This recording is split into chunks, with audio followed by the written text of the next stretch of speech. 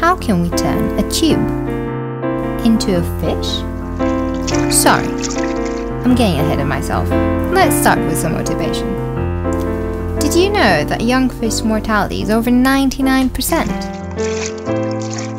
That means that less than 1% of the eggs reach maturity. But wait, that makes sense. With limited food sources and danger lurking around every corner, they need a lot of luck to survive. But we can help them. If we regulate food concentration and regulate temperature, with no predators around, they should be just fine. Wait, what? Mortality rate is still 70%? How is this possible? Something's definitely weird here. Let's take another look at that graph. Seems like mortality peaks around first feeding. Well, Miri, we think hydrodynamic constraints prevent larvae from feeding enough to survive in their first days.